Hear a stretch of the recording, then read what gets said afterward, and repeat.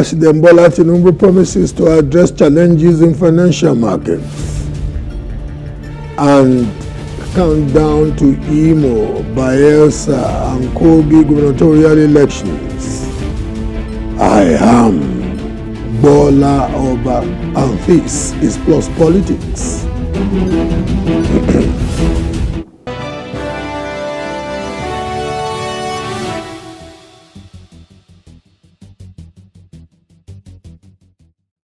President Bola Tinubu has said that his government is not blind to the challenges several Nigerians are facing in the financial markets.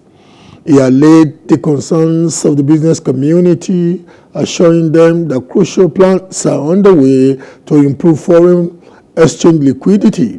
While speaking at the 29th National Economic Summit Group meeting yesterday, the president said his administration will honor every legitimate contract with respect to the nation's foreign exchange obligations and also revealed that his government has a good line of sight for the additional foreign exchange liquidity that is required to restore market confidence.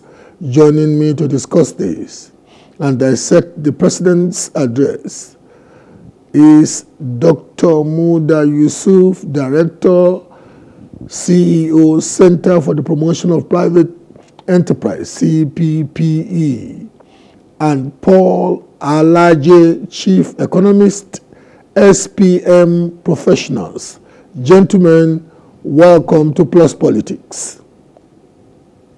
Thank you, good evening, sir. Good evening, sir. Thank you so very much for having us. Thank you very much for uh, the privilege of uh, guesting on the show.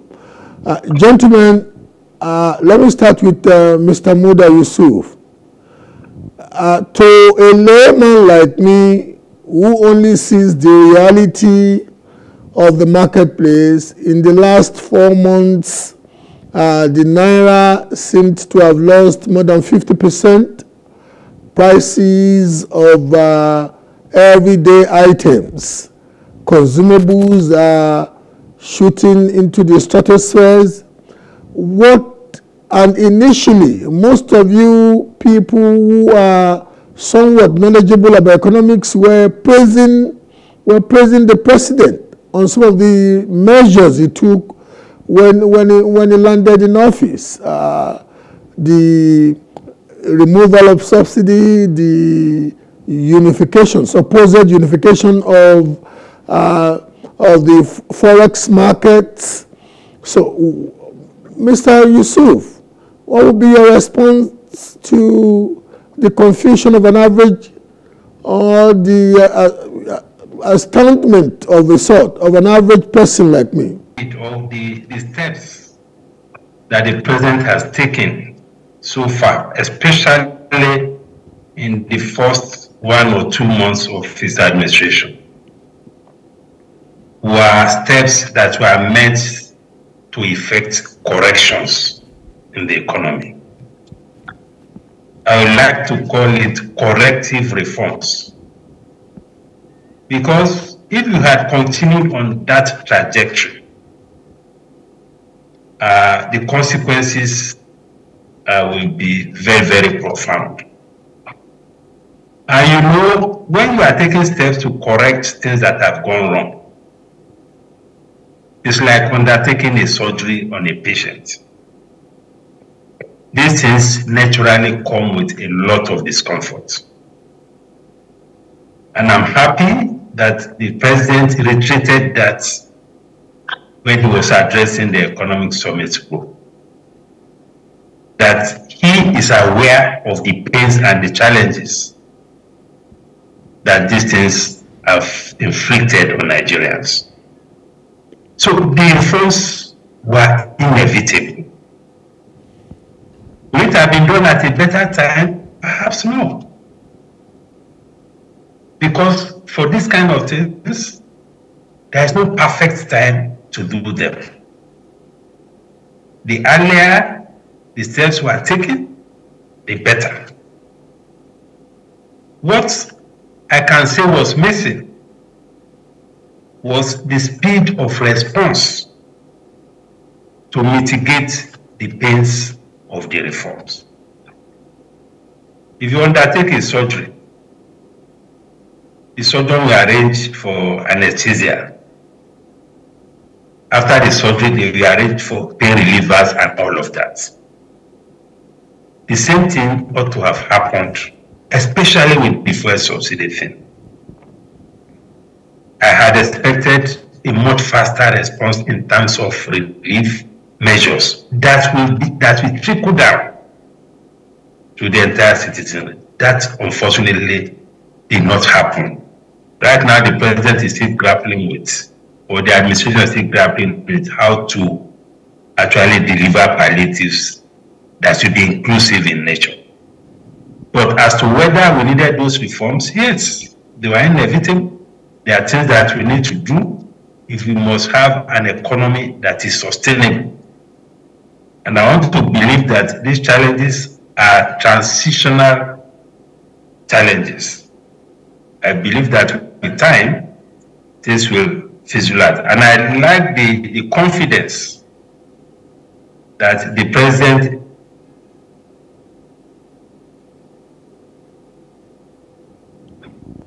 about clear indications or pathways on how to resolve this problem, particularly this foreign exchange crisis.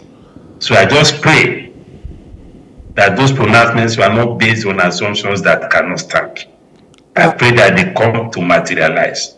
If that happens, then we'll be on the way to, to getting out of this crisis. Uh, Mr. Alaje, one would have thought that for somebody who was resolved, who was determined to take such dramatic measures, as inevitable as, um, as Mr. Yusuf has painted those measures, one would have thought that scenarios would have been played with uh, prior to the enactment of the policies. It, it does seem at this juncture to an average uh, an average Nigerian that uh, we just we're just left in the lodge. We we just left in the middle of the ocean. Uh, we see everything sinking. Uh, it does seem that the naira is uh, daily sinking, and uh, so how, how would you want to address an average Nigerian listening to an expert like yourself now? Thank you so very much for having me once again. I had mentioned between March and April, today, it is not just subsidy that is removed, we have also seen flotation in an economy that 40% of the FX depends on the on importation of PMS, the raw material which, of which we have in our country. As a result, when you don't bother about economic outcomes, economic impact, in most cases negative, we catch up with most developing countries it was clear that Nigeria needed to take a decision regarding doing something about subsidy. But what we must do first is to ensure that we control our own destiny. As I speak with you today, that destiny is still not controlled. We are not able to manage the supply side. We have done everything possible to manage the demand side. We are looking at how to boost to curtail demand or slow down the rate of acceleration of the demand. But what we have not done is how do we manage the supply side? I understand some of the uh, comments and pronunciation that has been made by His Excellency Mr. President. Uh, but you know, it's important for us to keep hope alive for many Nigerians. But many are wondering, how will this thing be? Which, of course, he said in the Holy Book, how will this thing be? We're not saying it's not impossible because, of course, government is government. But how do we create that monitoring system such that we can take decision for those who don't mean well for our nation, those who just want to hold dollars because of issues of confidence on the local currency. Unfortunately, if we all say we don't have confidence in naira, it will continue to hold the eh, it will continue to hold the economy and we will be committing the same slippery slope error of it's falling today. Let me quickly go and change all my money to dollar. The more we all rush to change to dollars the more the value will go down until we are able to put a stop now the big elephant in the room is at what point will government put that stop? What are we going to do? And I dare tell you, and I've told so many correspondents around our country and around the world, the permanent solution to challenges of FX is not just to talk to the demand side, we must have a viable supply. And that supply I'm not seeing as of today. And I'm hoping that the authorities of our country will start seeing the importance of curtailing, of, of, of amplifying supply and curtailing demand to a large extent. Uh, Mr. Yusuf, the president yesterday uh, said he had uh, a trick up his sleeve on how to get 10 billion US dollars injected into uh, into the economy, which ordinarily to any anybody who follows uh, basic economics would know that would may help to to curtail the stampede that is ongoing now. But beyond that, you know, I want you to I want you to talk to that. But beyond that, what can a very tutored mind like you uh, suggest to curtail the seeming the seeming helplessness that is discernible in how the government seems to be uh, conducting itself, uh, itself on matters of, of the economy. Mr. Yusuf. Well, uh, first, I, I, I was impressed by the optimism of the president, and, uh, and that was further reinforced by the pronouncements of the finance minister as to their strategy to be able to mobilize external resources to be able to deal with the current crisis of confidence. Because at the heart of all of this challenge is the collapse of confidence. Once confidence collapses in any system, there's normal to be panic. There's it's also normal, you know, to have people people become anxious, a lot of anxiety, panic buying, and all manner of issues.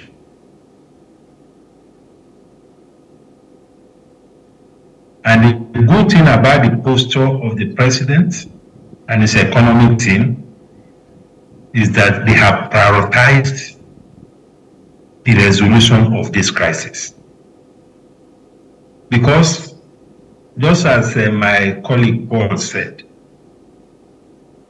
foreign exchange is at the heart of so many things in the economy.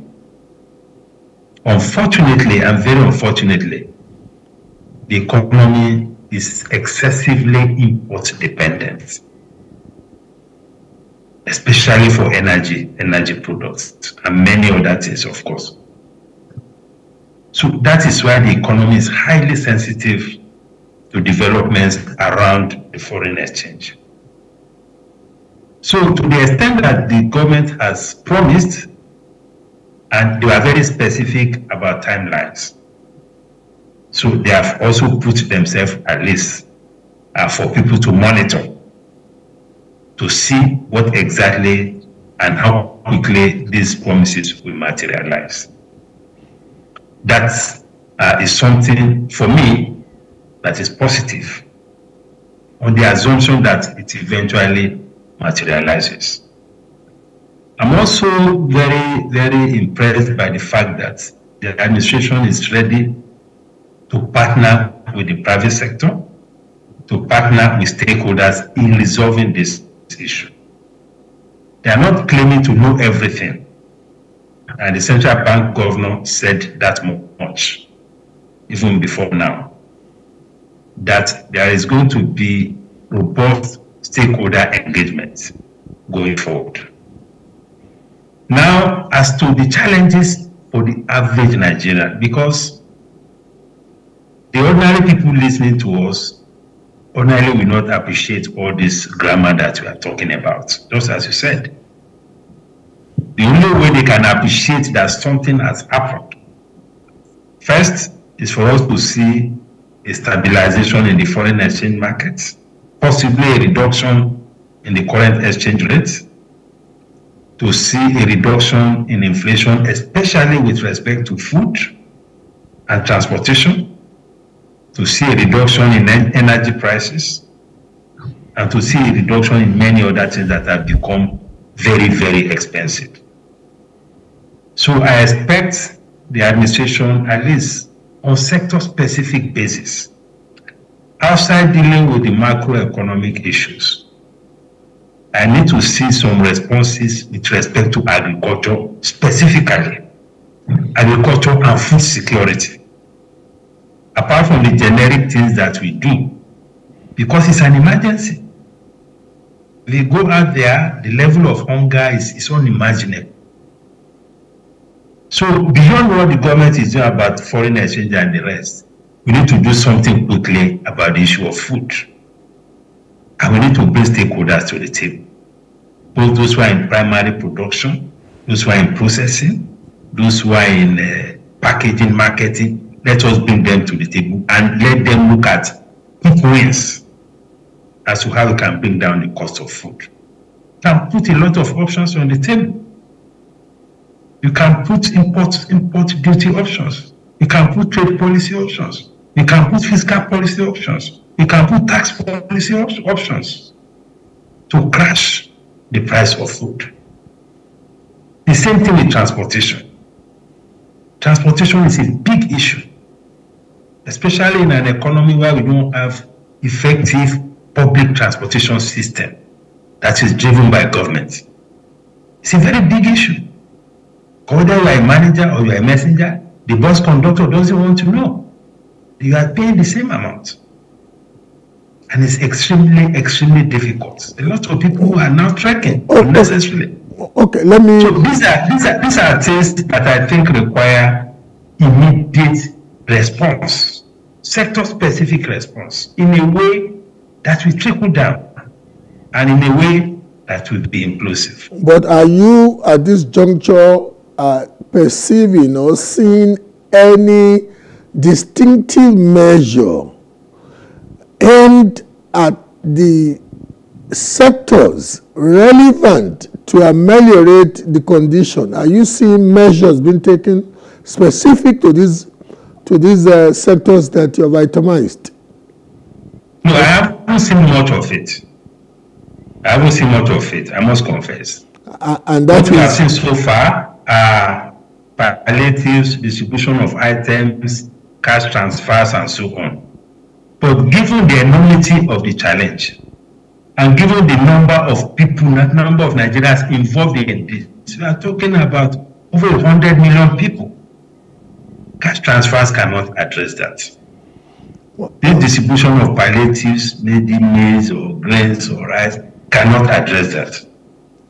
Let me quickly go. Let, let, me quickly go to. let me quickly go to your colleague now, uh, Mr. Laje.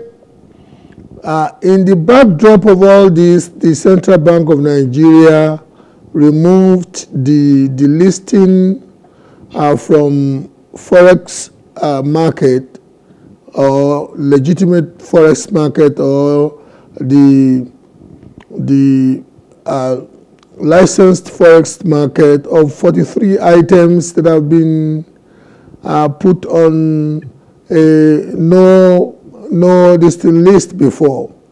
Uh, a number of uh, a number of manufacturers have been quoted to have said that that measure is inimical to to their uh, productivity.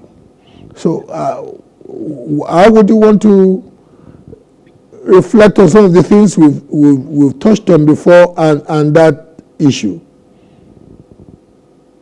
Well, the remove the reisolation of the 43 items that were before now banned by the central bank from assessing FX is not to the effect that the commodity importation was banned by itself. Apart from a few lists that was, of course, on the immigration list that could not come to Nigeria, some other things could find their way to Nigeria, provided they can go to the parallel market to finance uh, using parallel market or whatever source, you know, non-valid. Once they can bring it in, it was fine. So authority, in my opinion, thought that these 43 items were the things driving the parallel market to become more potent. And I have mentioned time and again that nearly 60% of the pressure you are seeing in parallel market today, it is not because of 43 items. It's not even because of uh, uh, uh, manufacturers that wants to bring in raw material. It is largely because of confidence. People don't believe that their naira is not going to get weaker tomorrow. They therefore resorted to going to parallel market because they feel one of the important characteristics of money, which of course is storability, and one of the function of money is store of value. They now feel that if this time last month the, the official rate of Naira was 700. Today is worse than 800 at official window. At parallel market, it was 900. Today is worse than 1,200. The question is, if they want to buy commodity, and let's take ourselves for instance, we are using phone. I'm using phone to communicate with you, having the uh, to have this interview. When I want to buy another phone, the inflation figure as well as exchange rate devaluation will reflect on phone. Do you know that if I want to buy corn that is not even imported, the pressure of inflation and exchange rate will also reflect? You may ask me why. Because the corn seller lives in the same economy that have been faced with economic hardship. And he also needs to buy food. He needs to exchange what is any for other things. So if inflation has occurred on his rent, inflation has occurred on transport and so many and so many other things, it will also increase the price of his source of livelihood. And this is how economy go round. Unfortunately, unfortunately, 43 items as, as suggested by the central bank is to reduce the pressure on parallel market demand and I underline demand. We have still not done the we have still not solved the real problem. And what's the real problem? Supply, supply, and supply. And I don't know if we have time. Thank you. I've mentioned it on several platforms. What should we be doing? How should we address supply concerns? What I would have expected. Mr. Mr. Laje, Mr. Laje, I can bet we will bring you back no, no, no. for the suggestion of the supply on the supply side. We, we, want to say thank you, Mr. Laje. Uh, uh, Mr. Yusuf, you want to give us your closing, your closing word, please? On your WhatsApp. Uh, Mr. Yusuf, Okay. Okay, okay, then we have to sign up at this, sign off at this juncture. Uh, thank you, gentlemen, uh, for guesting on the show. Uh, we'll go on a short break, and when we're back, we take on the next topic.